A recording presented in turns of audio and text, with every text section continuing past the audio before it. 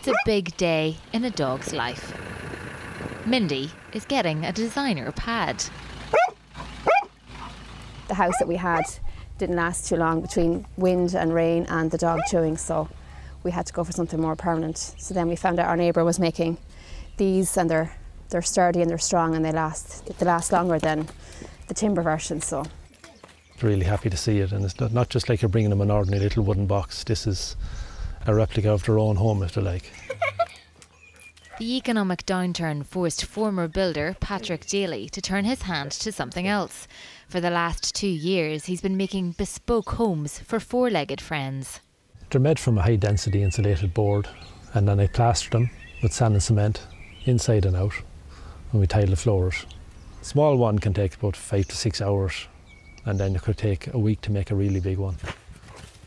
While activity in the wider construction industry has been quiet, this business is seeing a more adventurous home buyer.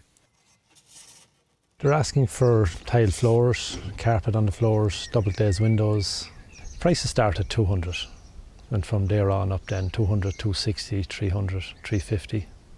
And then if you want to go crazy, you can go crazy. Crazy would get uh, a really, really big dog home, upstairs, downstairs, lights, tap.